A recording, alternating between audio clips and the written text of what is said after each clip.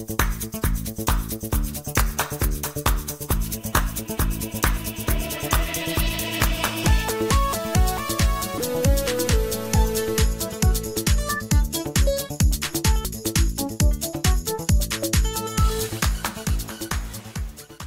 Hello friends நான் உங்கள் SKA பேசுகிறேன் ஒரு அருமையான டாபிக் ஒரு காலத்தில் அதாவது இடைக்கால இந்தியா அப்படின்னு சொல்லுவாங்க. பல நூற்றாண்டுகளுக்கு முன்பு அந்த நேரத்தில் இந்தியாவின் நீதிமன்றங்களும் சரி அரசு அமைப்புகளும் சரி வெளிநாட்டு தலைவர்களால் சலசலத்ததுன்னு சொல்லலாம். அப்போது இந்தியா ஒரு பெரிய வர்த்தக மையமாக இருந்தது. சொன்ன ஆச்சரியப்படுவீங்க இந்தியா ஒரு நிலையான இராணுவங்களை கொண்ட ஒரு பெரிய இராணுவ சக்தியாக இருந்தது. எனவே இந்தியா பல பெரிய நாடுகளுக்கு தானாகவே நட்பை உருவாக்க ஒரு மூலோபாய இலக்காக அதாவது ஸ்ட்ராட்டஜிக் டார்கெட்டாக இருந்ததுன்னு சொல்லலாம். இன்று அதே பல நூற்றாண்டுகளுக்கு பிறகு உலக அளவில் பல நாடுகளும் வளர்ச்சியின் பாதையில் வெற்றி நடை போடுவது மட்டுமல்லாமல் மொத்தமாக பல வகையான அடுத்த தலைமுறை முன்னேற்றங்கள் நடந்துக்கிட்டே இருக்கு. இந்தியா அதன் மையத்தில் உள்ளது. The core of the world அப்படின்னு சொல்லலாம். இந்தியா பல நாட்டு தலைவர்களின் முக்கியமாக டிப்ளமேட்ஸுகளின் சம்மர் ஸ்ட்ராட்டஜிக் சென்டர் அதாவது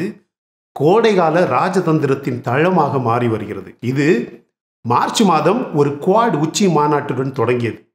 இது உலக அளவிலான நான்கு சக்தி வாய்ந்த நாடுகளின் ஒரு பெரிய கூட்டமாக இருந்தது. அது உங்க எல்லாருக்கும் தெரியும். இந்தியாவை பொறுத்தவரை அது ஒரு புதிய சாப்டர் ஒரு புதிய அத்தியாயம்.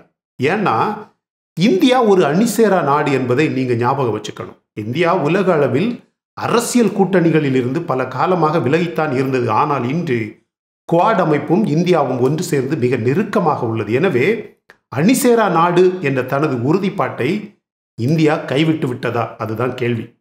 இந்தியாவின் ஒவ்வொரு குடிமகனும் ஒரு விஷயம் நல்லா புரிஞ்சுக்கணும். குவாட் என்பது பலருடைய தேவையின் நிமித்தம் உருவான ஒரு அமைப்பு. ஆனால் இந்த அமைப்பு இந்தோ பசிபிக் பகுதியில் அதிகாரத்தை நிலைநாட்ட உருவாக்கப்பட்டதல்ல. China has to follow the rules as a border country of India.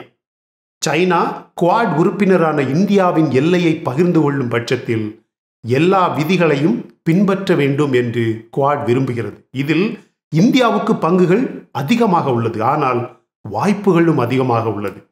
சைனாவின் எழுச்சிக்கு எதிராகவும் ஒரு மாற்றத்திற்காகவும் இந்தியாவை ஒரு நல்ல வாய்ப்பாக மேற்கத்திய நாடுகள் பார்க்கிறது. அது ஒரு சரியான ஆப்ஷன் அடுத்த சில ஆண்டுகளில் இந்தியா உலகின் மிக சக்தி வாய்ந்த நாடுகளில் ஒன்றாக மாறக்கூடும். இன்று அமெரிக்கா மற்றும் ரஷ்யாவின் உயர் அதிகாரிகளுக்கு இந்தியா விருந்து கொடுக்கும் அளவுக்கு வளர்ந்துள்ளது. அவர்களுக்கு அவர்களது சுயநல தேவைகள். ஆனால் இன்று எத்தனை நாடுகள் உலகில் அமெரிக்கா ரஷ்யா போன்ற இரண்டு நாடுகளுடனும் நல்ல உறவை பராமரிக்கும் நாடுகளாக உள்ளது.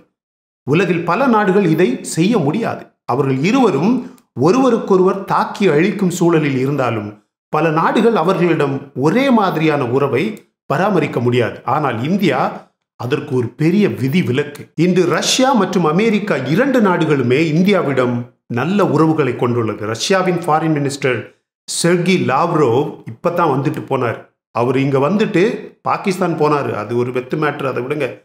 தேட்டரில் ஒரு நல்ல படம் பார்க்க போனால் பாத்ரூம் போகிறது இல்லையா அது மாதிரி தான் இது வச்சுக்குவோம். ஸோ இப்போ தான் ரஷ்யாவின் லாவ்ரோவ் வெளியே போயிருக்காரு. அடுத்தது அமெரிக்காவின் கெரி.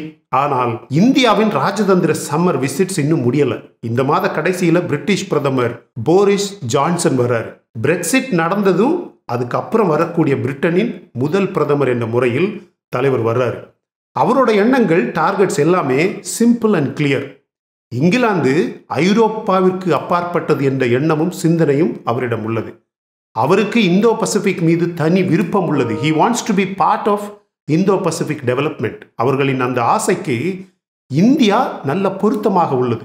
ஒரு வலுவான பிராந்திய செல்வாக்கு கொண்ட சக்தியாகவும் ஒரு வர்த்தக ஜெயண்டாகவும் மாறிவிட்டது இந்தியா. எனவே இந்தியா போரிஸுக்கு மிக முக்கிய நாடாக மாறிவிட்டது. ஸோ இப்படி பென்டகன் தலைவர் லாய்ட் ஆஸ்டின் அப்புறம் ரஷ்யாவின் உயர்மட்ட ராஜதந்திரி செர்ஜி லாவ்ரோவ் அப்புறம் ஜான் கெரி மற்றும் இப்போ போரிஸ் ஜான்சன் இப்படி ட்ரெயின் போகி மாதிரி இவர்கள் இந்தியாவுக்கு அடுக்கடுக்காக வருவதற்கான காரணங்கள் என்ன?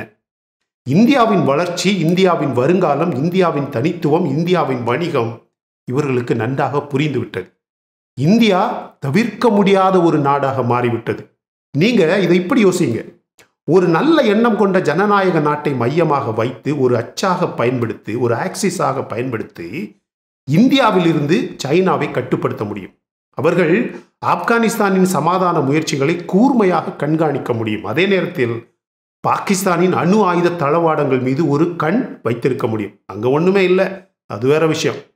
இது எல்லாம் தாண்டி இந்தியா ஒரு நிலையான மற்றும் செழிப்பான ஜனநாயகமாக இருக்கிறது என்பது ஒரு அடிப்படை உண்மை. நீங்க சொல்லுங்க ஃப்ரெண்ட்ஸ் ஆப்கானிஸ்தானில் அமைதியை நிலைநாட்ட வேண்டுமானால் இந்த உலகம் யாரை நம்பும்? சொல்லுங்க. நீங்க சொல்லுங்க.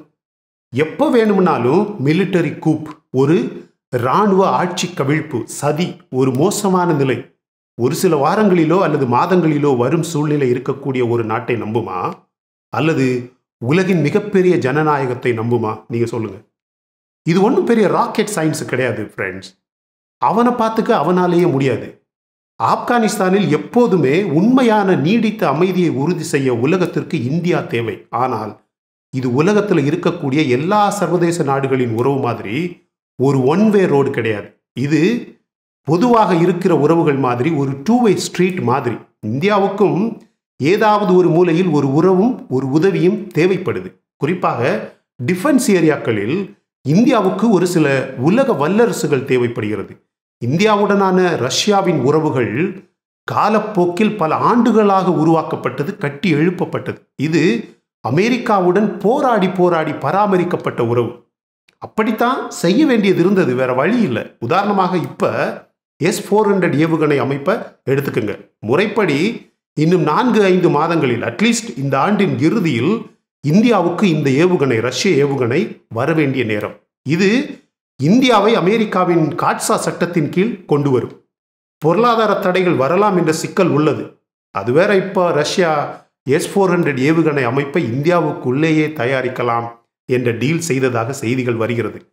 ரஷ்யாவின் ஃபாரின் மினிஸ்டர் வருகையில் இது நடந்திருக்கலாம் என்ற யூகம் அதிகமாக உள்ளது. முறைப்படி பார்த்தால் இந்த ரஷ்ய ஏவுகணைகள் இந்தியாவுக்கு வந்ததுமே அமெரிக்கா இந்தியாவுக்கு பொருளாதார தடைகளை விதிக்கலாம். தட்ஸ் நார்மல் முறைப்படி பார்த்தால். ஆனால் அமெரிக்கா உண்மையிலேயே அப்படி செய்யுமா? அது ஒரு வித்தியாசமான குழப்பமான கேள்வி. ஜோ பைடனின் புதிய ஆட்சியின் ஆசைகள் கிளைமேட் சேஞ்ச் ஈரான் நாட்டுடன் அணுசக்தி ஒப்பந்தம் அதோடு சேர்த்து இந்தோ பசிபிக் போன்ற ஒரு சில வெளியுறவு கொள்கைகளும் சிக்கல்களும் ஆசைகளும் பைடனின் கண் முன்னால் அப்படியே தகதகன்னு ஜொலிக்குது. ஆனால் இந்தியாவின் ஆதரவு இல்லாமல் அவர் இதில் எதையுமே சாதிக்க முடியாது. எனவே வாஷிங்டனில் இந்தியாவிற்கு பொருளாதார தடை இருக்கக்கூடாது என்ற கருத்திற்கான மெஜாரிட்டி நாளுக்கு நாள் வளர்ந்துக்கிட்டே இருக்கு. அவங்களுக்கு பொருளாதார தடை தள்ளுபடி கொடுக்கணும் என்ற எண்ணம் வளர்ந்துக்கிட்டே இருக்கு. கேட்சா சட்டம் அமெரிக்காவின் எதிரிகளை மட்டுமே குறிவைக்க வேண்டும். ஜோ பைடன் இந்தியாவை தனி மகத்துவத்துடன் வகைப்படுத்த விரும்புகிறார் பார்க்க விரும்புகிறார். எப்படி? ஒரு எதிரியாகவா? வாய்ப்பே கிடையாது. இப்ப இருக்கக்கூடிய காலகட்டத்தில் உலகத்திற்கு ஏதாவது ஒரு விதத்தில் நல்லது நடக்க வேண்டுமானால் இந்தியாவின் உதவி அதற்கு காரணமாக இருக்க வேண்டிய சூழல் வந்துவிட்டது. உலக வல்லரசுகள் இந்தியாவின் பங்கெடுப்பை எதிர்நோக்கியுள்ளது. கிளைமேட் சேஞ்ச் அமைதி பாதுகாப்பு சைனா பாகிஸ்தான் நெய்ம் இட் நீங்க எதை வேணும்னாலும் சொல்லுங்க. People want India on board India தனது விளையாட்டை சரியாக விளையாடினால் நமது ராஜதந்திரத்தின் நல்ல நேரம் தொடர்ந்துகிட்டே இருக்கும். India will be a beginning of a Pax Indica இந்தியாவை சுற்றி கட்டப்பட்ட ஒரு உலகம் ஒரு உலக ஒழுங்கை நம்மால் காண முடியும். இதில் சைனா பாகிஸ்தான் போன்ற ஊதாரி நாடுகள் பாதிக்கப்படலாம் என்பது உண்மை. இதுதான் உண்மை இதுதான் எனது அறிவுக்கு எட்டிய எண்ணங்கள். உங்களுடைய கருத்துக்களை கமெண்ட் செக்ஷனில் போட மறந்துடாதீங்க மை டியர் ஃப்ரெண்ட்ஸ் இந்த வீடியோ உங்களுக்கு பிடிச்சிருக்குன்னு நான் நம்புகிறேன் பிடிச்சிருந்தா லைக் பண்ணுங்கள் இந்த சேனல் உங்களுக்கு பிடிச்சிருந்தா சப்ஸ்கிரைப் பண்ணுங்கள் thank you so much my dear friends for வாட்சிங் all my videos and supporting my channel until I come back with my next awesome video it's bye bye from Suresh stay safe stay positive stay active stay fit always dream big in your life and please take care of your parents உங்கள் அப்பா அம்மாவை நல்லா பார்த்துக்கோங்க friends thank you